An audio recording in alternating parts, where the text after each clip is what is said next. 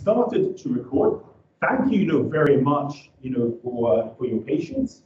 Um, so I'll, I'll give a, a, short you know, introduction. I mean, many of you will be familiar with uh, Lina Vasquez. She's uh, not just a polyglot, but also a YouTuber, and she's also um, an expert on holistic uh, language learning, and you know, holistic learning is part of the uh, the, um, what this conference you know is about. And also, um, you know, one one thing if you watch some of her videos where she speaks in different languages, like you know, she, she not she doesn't just speak the language well, but with a very good accent as well. So when uh, so I, I, definitely check out you know her her, her, stuff on, on on YouTube. So you know whenever you're ready, please fire away. Uh, right. Beautiful. Thank you so much, Tim. Thank you for that wonderful introduction. And hello, everybody. It is such a pleasure to be here. And I'm incredibly excited to present something to you that I don't think has ever actually existed in this space and in the world of languages, which is my domain. So what if I told you that the way that you see the world is actually an illusion. That the way that we think about science and language is actually also an illusion. That the separateness that exists isn't actually there. And that the way that you have been taught throughout your life to see languages or yourself as a learner is also an illusion. So today in this talk, my greatest hope for you is to look at the world a little bit differently, to look at the domains of science and language differently and see something that you may have never seen before. And most importantly, what I hope that you take away from my talk today is some questions, some ideas about yourself as a learner, and potentially some answers or at least resources to find answers for challenges you may have had when it comes to learning a language. So if you can, close your eyes for a moment. Now I know that I can't see you all, but just close your eyes and imagine the world. So what do you see? Just think about the world. Now you can open your eyes and I don't know about you, but when I have to think about the world, the first thing that comes to my mind is a map a map which has all of the continents with their respective names, the countries, the cities. But the reality is that these words and these names for places don't actually exist in nature, right? We as human beings put them there. And we can think about these words as a representation as a representation of language here, right? And so if we remove the place names, we're still left with countries that are divided up by borders and lines, right? So for example, if you're in Lancaster at the moment in England and you went to to a map where you were, you know, driving and you saw Google Maps, you would see, all right, here's the border, here's Lancaster, then we got Preston, then we got other places, you know. But the truth is that we put the lines there. And so think about these lines and this kind of compartmentalization of the world as representing science, right? So having science and having language, having these, these words for places and having these borders helps us to actually navigate the world, right? If we didn't have the place names, it would be very hard for you to tell me where you were right now. And if we didn't have the lines and you know the compartmentalization of the world, it would be quite difficult for us to handle global affairs in the way that they function these days. But the truth is that the world doesn't actually look that way, right? And we can think of a closer depiction of the world as being something like a little bit like this image here. So if you see, this is a still image, yes, but there are no lines. There are no borders. There are no place names. It just is. And if you were to go outside, for example, and I asked you to, you know, to drive up to the border between Wales and England, for example, and tell me, right, can you can you tell me where Wales is and can you tell me where England is? I think it would be very difficult for you to do so. And same thing if, for example, you went to where I'm from, which is Australia, and I told you, hey, can you, can you come to the ocean border here and tell me where does the sea actually start and where does Australia start? It would be impossible because the waves are always moving and the sand is there and we just can't draw a line. And so we can think a little bit about this connection between science, language, and nature as being something also related to another concept. You can think about it as being like the bees and the flowers in the world. Now, what does a flower actually need to, to grow? Now, I'm no biologist, but I think, you know, some of the standard things are it needs fertile soil, it needs sunshine, water. Those are kind of the main things, right? But there is actually something that is incredibly important to the survival and the growth of a flower, and that is bees. The only reason why most of the flowers that exist in the world today are still here, and the reason why so many types of plants still exist that have flowers, is because of bees. They would not be here if it wasn't for the cross-pollination of bees, right? And so we have them to thank as well because bees and their, their pollination is the reason why a lot of the fruits and vegetables that we eat actually still exist. If they weren't here, we'd probably have a hard time nourishing ourselves. But there's an even more important connection here. And it's that bees actually can't survive without flowers. They need the nectar from flowers for their own growth. And so you can see this relationship as a symbiosis, right? It's not that flowers are more important than the bees. It's not that bees are more important than the flowers. They function like this. It's an, a unified field. It's a unified relationship. And so the key thing I really want to bring to the forefront here is that it's the same thing with science and language it's actually not the case that science is that different to language or language is that different in terms of their value.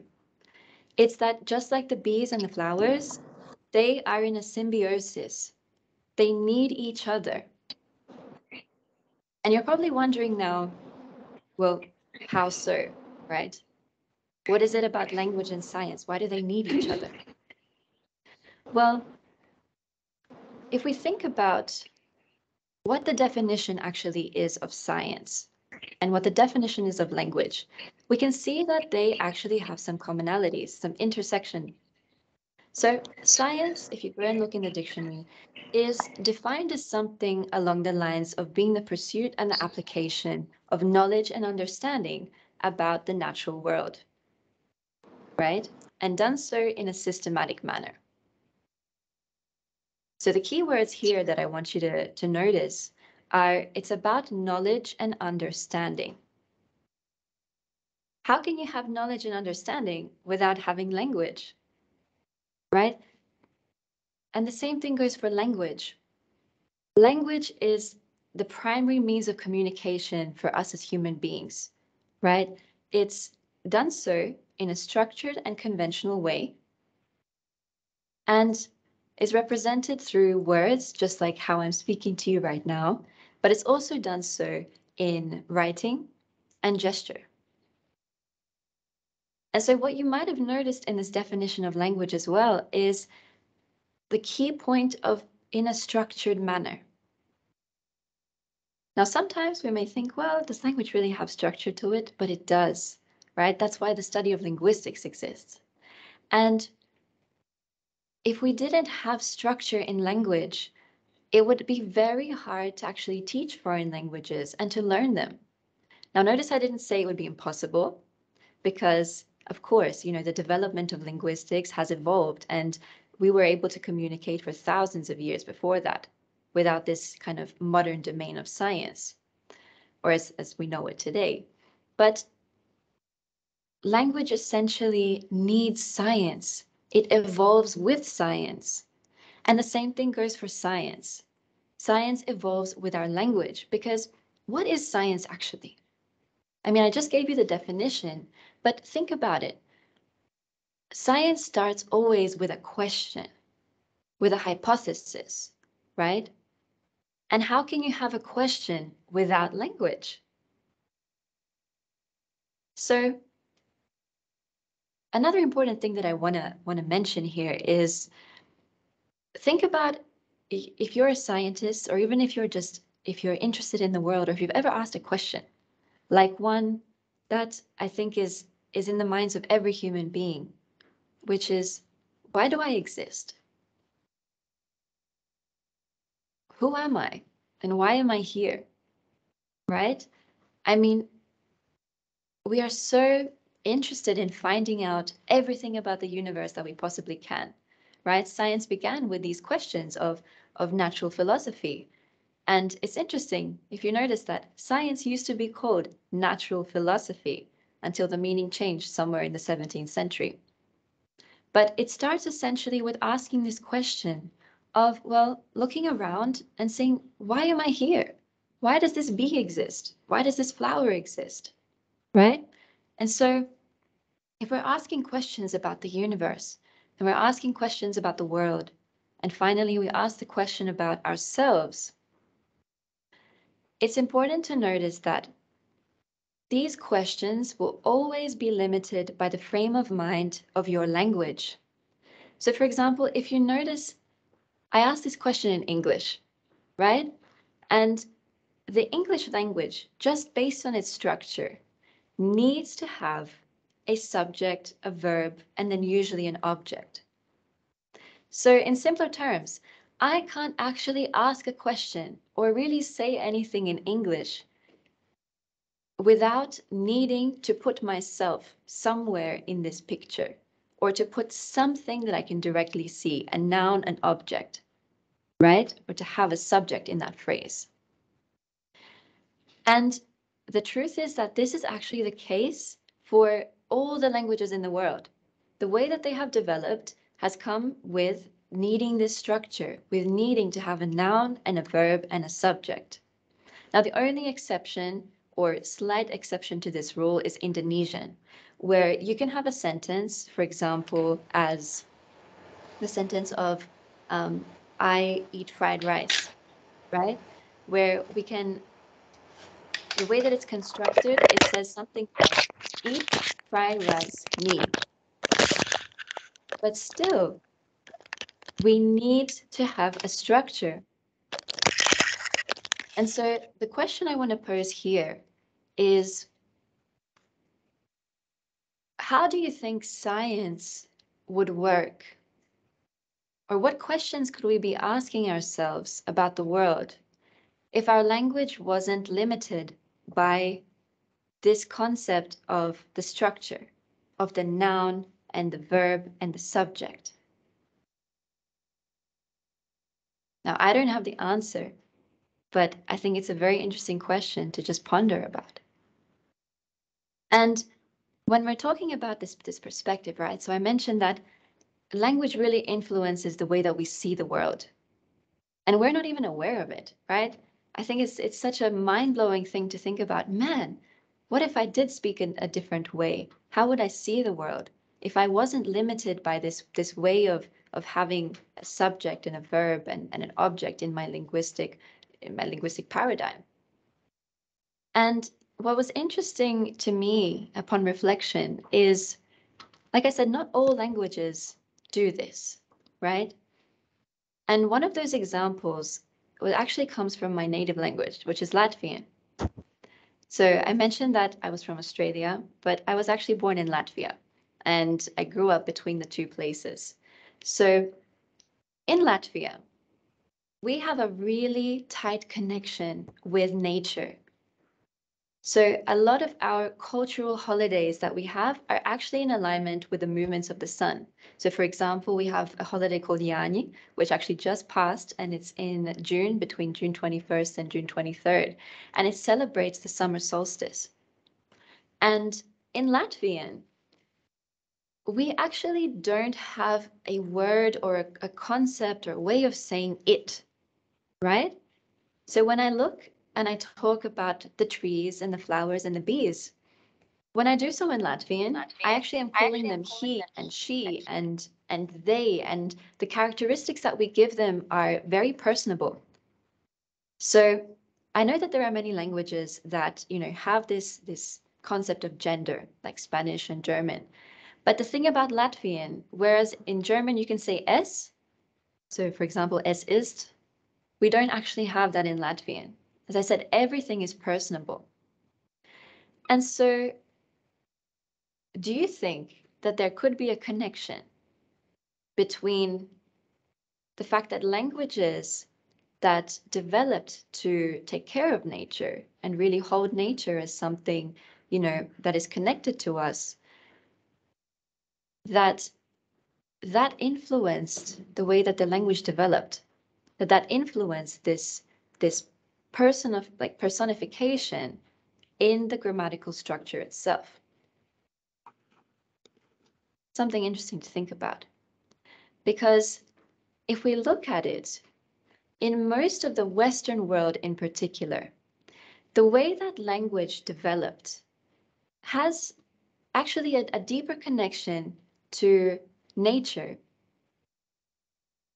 So the thing about English, for example, how it developed, right?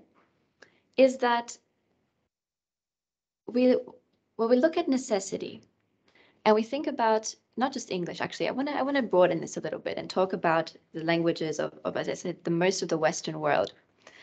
They developed because there started to be this this need, right, for for survival to be able to name well, what is where is the potential danger? What is happening? right? Language develops a lot of the time out of necessity. And at some point, if we go thousands of years back, what happened in the Western world was we actually used to have a connection um, in terms of religion to paganism. And for those of you who don't know, paganism celebrates, or a lot of the rituals and the traditions that are, are tied to paganism um, are actually to do with nature. And then at some point, this shifted, right? And other religious contexts played a huge role. And man was now put here, above nature, above everything. So what did this do to the perception of reality? I think we can see a pretty clear picture in the world today that we see ourselves, a lot of us, as human beings being above nature and above animals. And as I said, this has a really deep root in, in religious context because it said that nature and animals were made to serve man, right? And this actually developed further and leaked into other spheres of, of the world that we know today, such as science. Now, a lot of you may be familiar with René Descartes. And it was actually René Descartes, the French philosopher, who started to, to kind of propagate that nature and man were separate, that man was above nature. And for those of you who, who may not know René Descartes, you may know him for being the person that coined the phrase, I think, therefore I am. So this idea of man being above nature started to, to seep into his philosophy, right? And so he said basically also that the mind was separate from the body, which is something I'm going to touch on a little bit later down the track. But it's interesting to consider these historical contexts and ask ourselves the question, well, wow, so at some point in my language and in my history, there was this notion, this disconnection that came from nature and from me as a human being and my connection to it. Right? And so it's also interesting to ask ourselves, well, is this really true? Do humans need nature? Does nature need humans? I'm going to let you answer that for yourself. Because the reality is that our connection to nature, just as the bees and the flowers, is also there. There are processes that are happening with us and everything around us, and happening within us as well, that we cannot necessarily see, but they are there because we see the outcomes of it. And this idea that René Descartes brought forward about, you know, I think, therefore I am, and this idea that we, that anything valid in the world needs to have a logical explanation to it. So just as I actually started in my talk about giving you the definition of science and language, this is what René Descartes essentially said is necessary. We need to be able to define everything we see in the world. We need to be able to have a logical explanation. Otherwise, it's not valid. Now, the question that comes to my mind is, well, thinking about, for example, one of the greatest experiences of my life, which was giving birth to my son a few months ago, right? Anytime I think about this experience, tears well up in my eyes, like right now. And the feelings come, and I think about that moment. There is no word, no phrase in any of the seven languages that I speak that could tell you what that experience was like. There is no way. I can't describe to you the feelings or hearing his cry for the first time. Now, do you want to tell me that that experience now isn't valid because I can't have a quantitative analysis of it?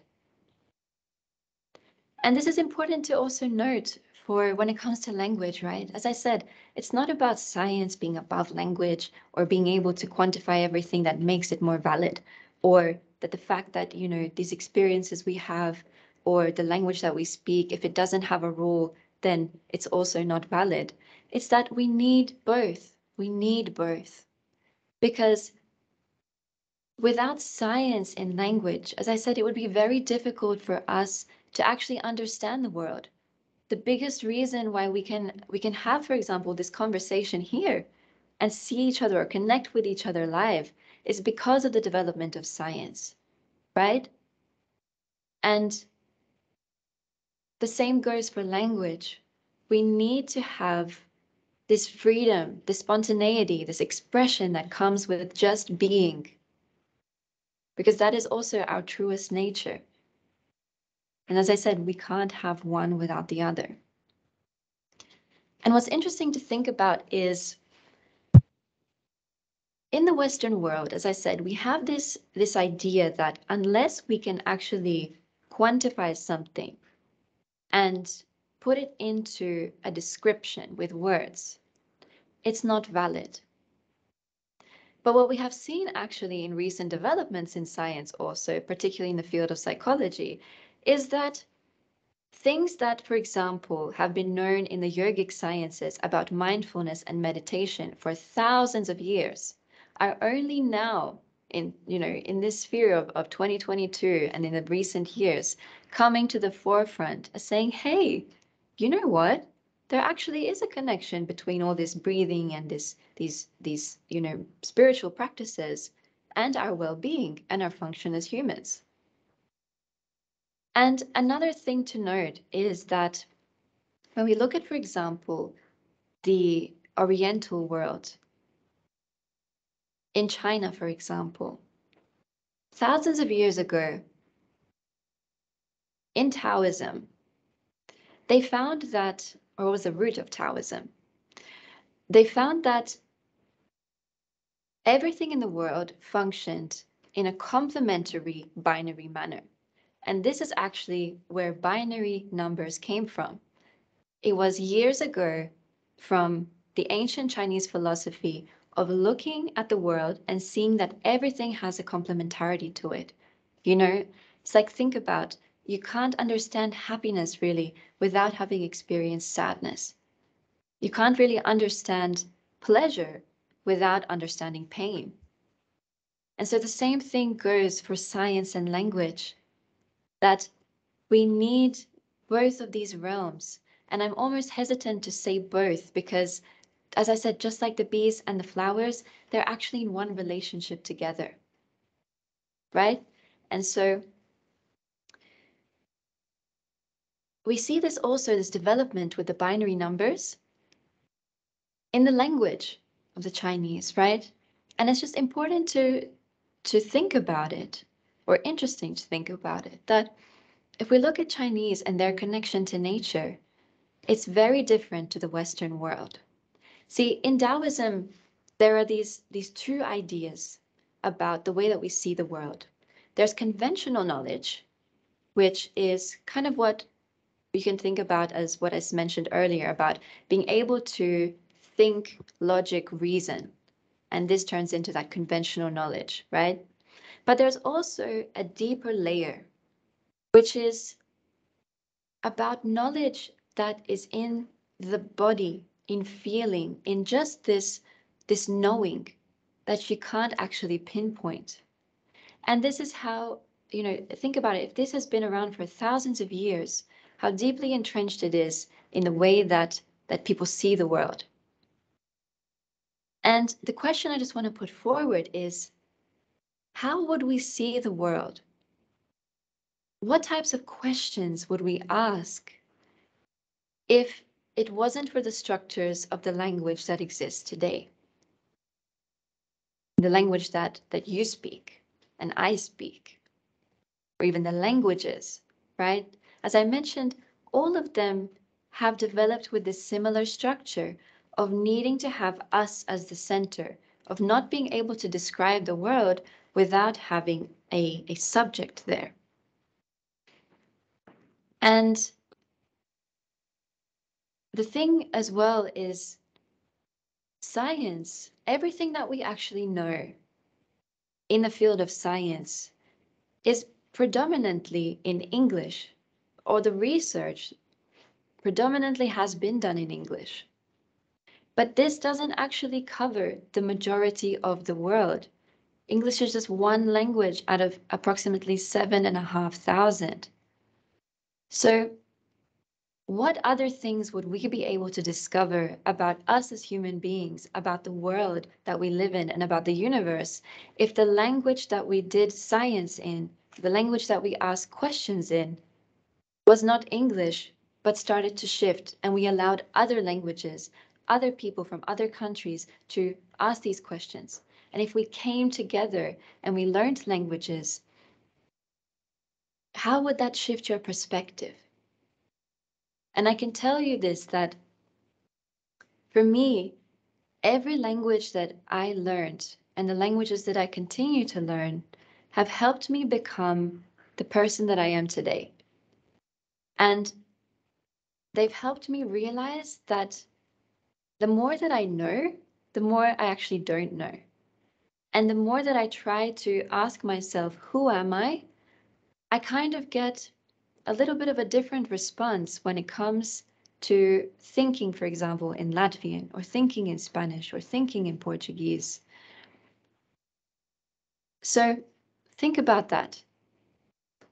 If you could see the world in a language that wasn't one of the ones you speak right now, or if the languages that we had were structured a little bit differently, such as, for example, the neurophysicist um, sorry, theoretical physicist, um, David Bohm actually purported, he put forward this question that, um, well, what if we change language completely, right? And he started to come up with this word language and said, well, what if instead of needing to have this noun and this verb, we actually focused on the verb, on the action, on the movement. And we do see some signs of this in, in the Chinese language where you can have a noun and a verb that kind of have a, um, a similar, you know, standing in the language. So to summarize what we've talked a little bit about today, we looked at the illusion in the world, right? When I asked you to think about planet Earth and how you see it, right? And it's necessary that we have, I guess, this compartmentalization um, of being able to just name one thing at a time and think one thought at a time. But it's important to remember that the world doesn't function that way. Right now, in this very moment on the earth, there are so many different processes happening also to you and me. For example, we are constantly aging. But if I told you to show me the signs of aging, well, you'd be like, I don't know, maybe you have a wrinkle here, a wrinkle there, but we can't see it, but we know it's happening. And then, as I said, we can look at this connection also between science and language of this illusion, of the separateness being an illusion, just like the bees and the flowers. The bees and the flowers are in a symbiosis. They need each other. They are always functioning like this. It's not this above that or the other way around.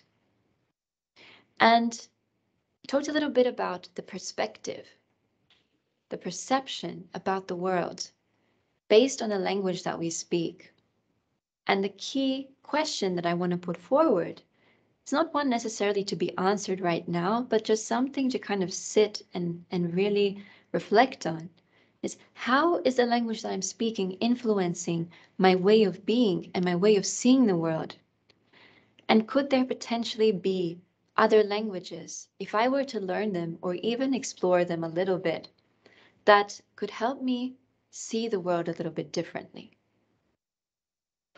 And the way that our language has developed is thanks to, for a, a great part of it, to René Descartes who developed rationalism, this idea of, of everything needing to be logical, and that knowledge was only really sound if we could, you know, give it a meaning, we could put it into words.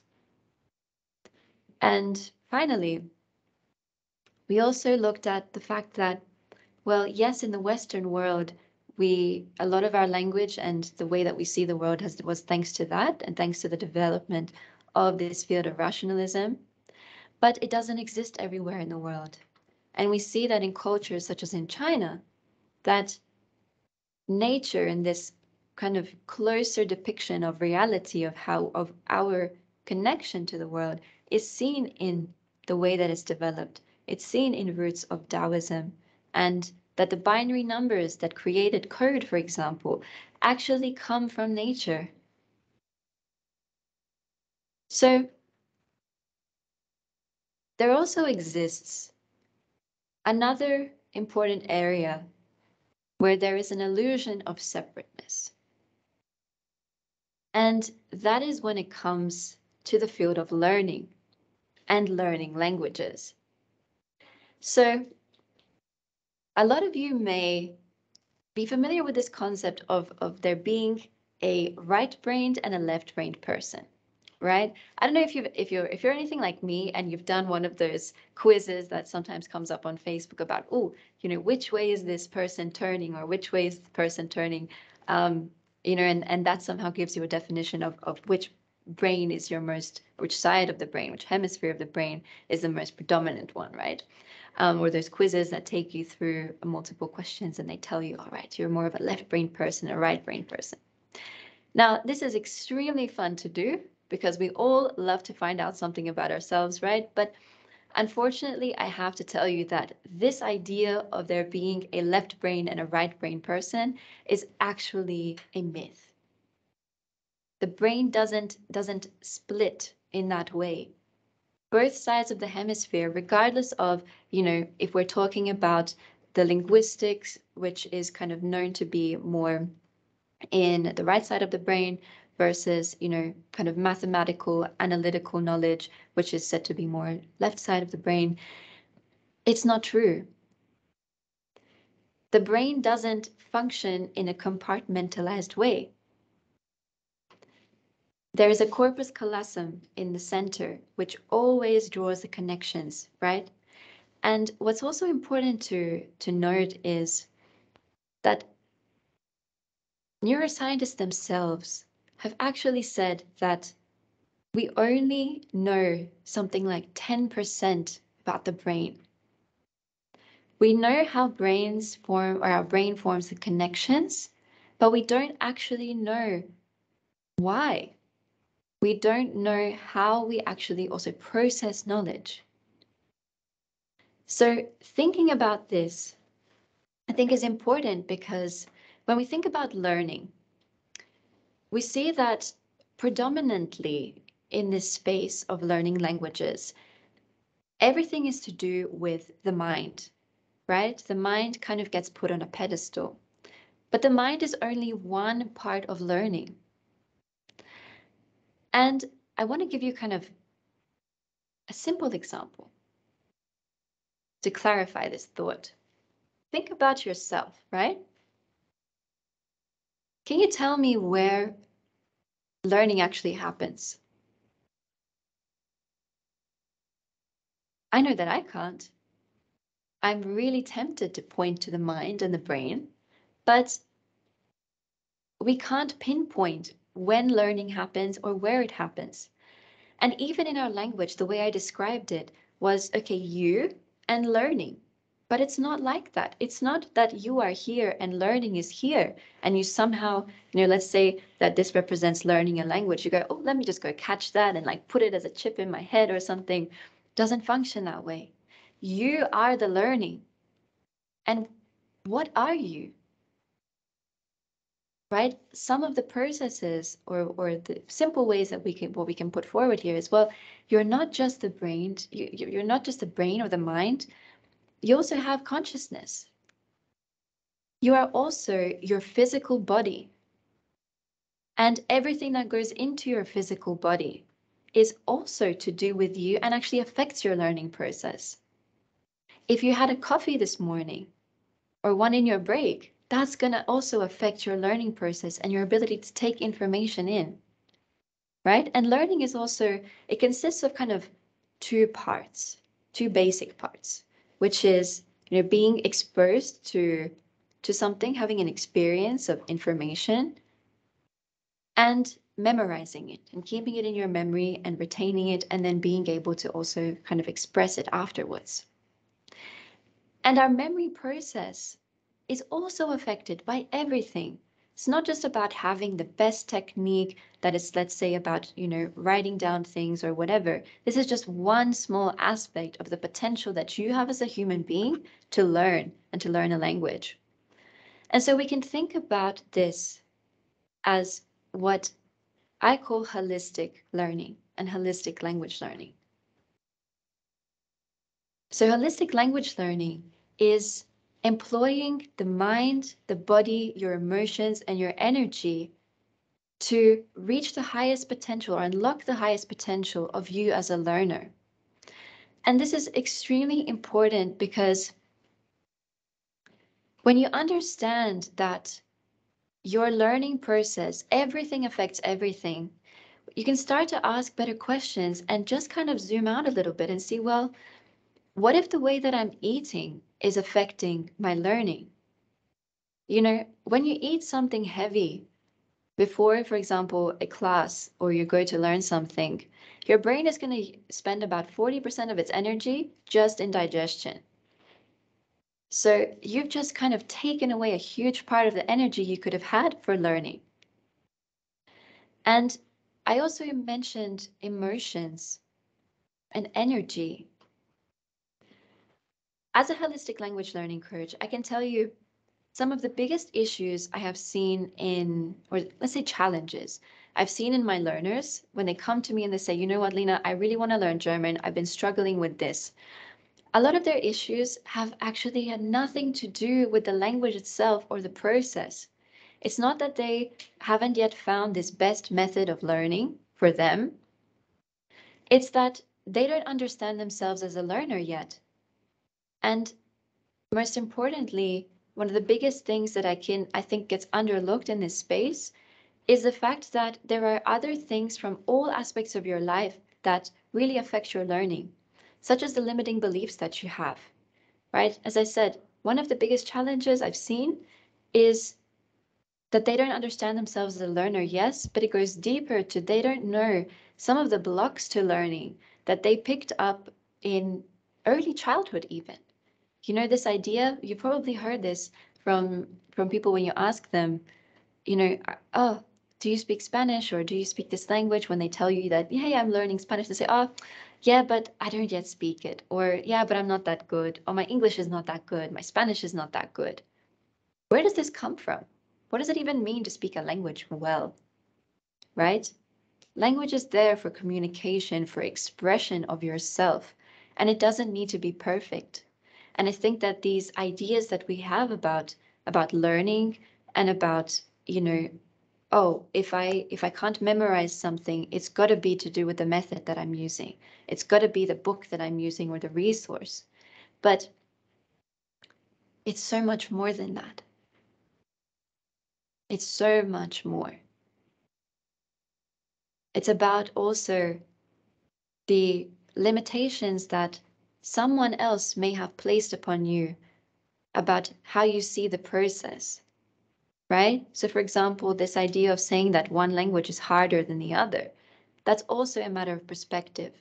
I know for myself, I can tell you personally, I never ever allowed myself to even use these words for really saying that, oh, I'm really having a hard time learning this, or I think that this language is really difficult because I knew that the minute that I said that, I made that true.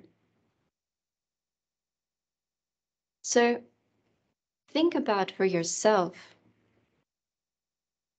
where in your life, particularly in your learning process, have you been approaching it in a unidimensional way?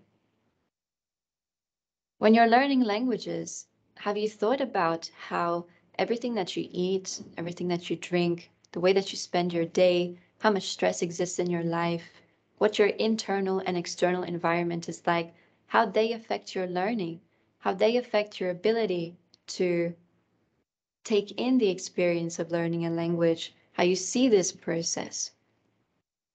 Where else in your life are you viewing it through the lens of seeing yourself as disconnected, as separate from everything around you? Where else in your life are you viewing something unidimensionally where a holistic approach could actually potentially hold the answers to make your challenges a little bit easier? Now, I don't have the answers. These are just questions for you to think about. Thank you very much. Muchas gracias. Merci, Paldies. Obrigada.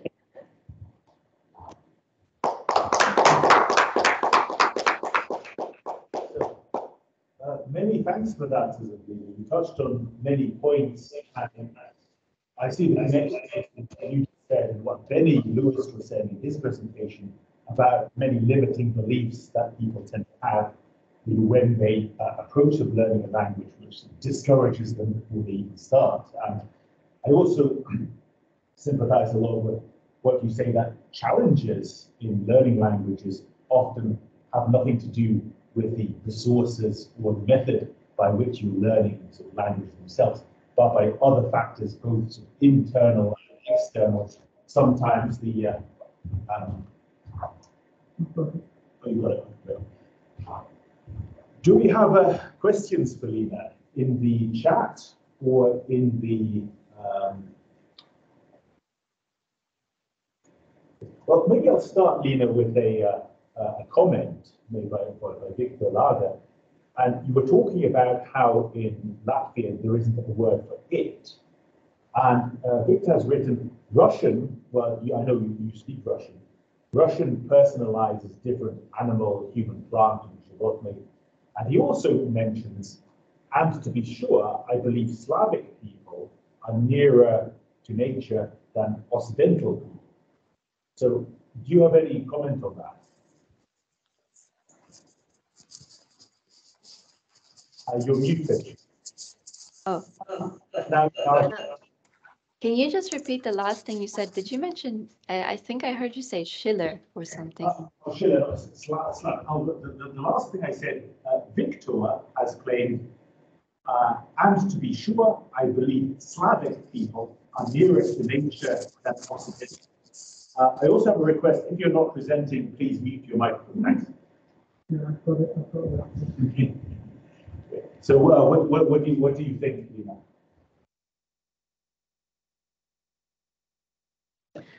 Well, yeah, as I said uh, in my presentation, I, I do think that if we look at the way that languages around the world have developed, you will see this correlation between um, cultures that are are very much tied to nature and seeing nature as being a part of us.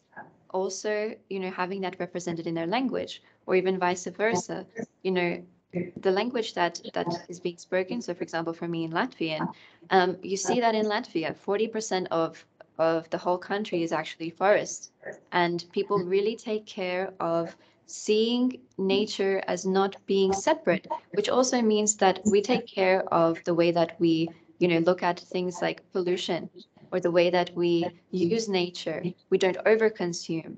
We are really careful that, you know, everything that we do is kind of part of the natural process. And so I put it forward as just something to think about that is just an interesting point of, yes, this connection also being seen in the language.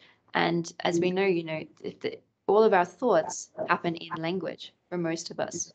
So that directly correlates to how we see the world and to how we are going to treat the world. And so if we see nature already or the way that we think about it as being separate from us, we see what is happening in the world today. That, you know, there is a lot of pollution, climate change is happening, and so many other issues of that are kind of rooted in overconsumption are happening because of this idea that we are separate. So that was kind of the, the connection that I wanted to draw from my own personal example with Latvian. Yes, uh, yes, Alina, you have a question. It's actually like um, two points, uh, but because I didn't quite catch your idea of the of the um, subject and the verb and the and the object, because we had a little um, interaction actually uh, right at that point. So uh, because you were saying that there's only one language that doesn't have this pattern, and I was just a little bit wondering if that is true. Um, but maybe we just didn't catch what you wanted to say. Did you hear me? Could you repeat the last thing you said? It's a little bit echoey for me. I don't know if maybe it's just it's just my audio. Yeah, um, I don't know what you heard, but um, I was just wondering if that is true, like um, that there's only one language that doesn't have this pattern, and maybe that we didn't quite catch what you wanted to say because there was this interaction, interaction at that point when you were explaining it. So um, maybe I got it wrong, what you wanted to say. Okay, yeah. So I mentioned Indonesian as an example, but honestly, also throughout my my kind of research and things that I've looked at in life, there are definitely other languages that you know have very different structures, particularly indigenous languages. Um, Native American languages, I know of one that I can't quite remember the name right now, but they also have a just a different way of, of structuring their language to be tied or where this noun and, and verb kind of symbiosis is very different. Um, there are things like, for example, in Australia, there are indigenous languages where they, for example, don't have words for you know left and right, and they see um, everything in the world based on the cardinal directions. So I don't actually know, and I think this would be a beautiful thing um, to explore. Uh, so I'd be, if you wanted to explore it with me, I would love to about, you know, do there exist languages in the world that don't actually have this? So as I said, and maybe I I misstated it in my presentation. I can't quite remember if I said there is only one, but there's one that I know of, uh, which was Indonesian that has a slightly different structure. So yeah, as I said, would love to actually know if there if there are any others and what kind of that would what type of influence that would have in the way that we approach the world and thinking about ourselves. Yeah, I would I like. hope that answered your question. Intuitively, I would say that um, there are more of those languages that there are that are uh, structured the way, like you know, in the threesome um, structure. Because, for example, when I was um, in Canada, and I come from Finland, um, just the way that I uh, changed the uh, sentence structure was already uh, like um, not quite acceptable in English.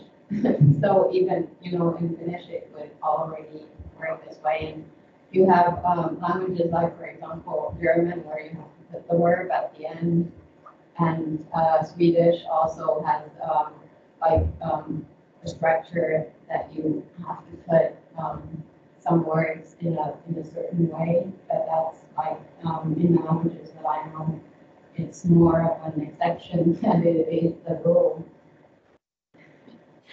Oh yeah, no, definitely. I understand what you're saying now about the structure. It's not that uh, languages all have the same structure. That's not what I what I meant to say or I said. It's that kind of the the baseline of sentences or of all the languages, there is this commonality that they need to have like the, the place that it's coming from is I always, or it's about a subject, something happening to it, or it's doing something right? So i you know i know of, as a as a german speaker myself that as i can say for example um ich muss blah blah blah blah blah blah es you know whatever like i can put the verbs at the end. Or even when it comes to languages like spanish or italian where yes you can you can take away saying yo. And for example i can say um, voy a la casa. I'm going home instead of yo voy a la casa. But still this the boy still has me as a part of it right? So, as I said, I don't have the answers, but I just think it's an incredible thing to think about that the way that language has developed through history is out of necessity for our survival and of being able to express the things that we need to express, which then becomes rooted in this fundamental way of seeing the world um, through having this this kind of necessity of subject. And honestly, when I try to even think about it differently, it's it's impossible for me because I've just been conditioned and grown up since I was born to speak the languages and see the world in the languages that I know.